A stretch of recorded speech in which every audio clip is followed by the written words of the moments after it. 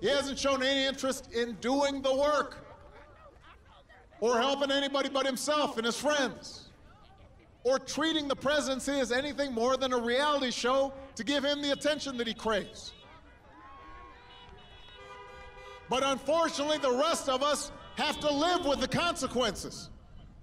Almost 230,000 Americans are dead.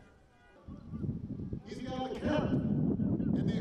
And, his closing argument this week is that the press and people are too focused on COVID. COVID, COVID, COVID, he's complaining. He's, he's jealous of COVID's media coverage.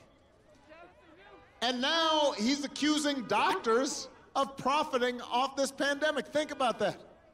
He said this just yesterday. Said doctors are overblowing it because they're going to make money off it. Doctors. He cannot fathom. He does not understand the notion that somebody would risk their life to save others without trying to make a buck. He, he's always worried. Look, here's the truth, Michigan. This pandemic would have been challenging for any president.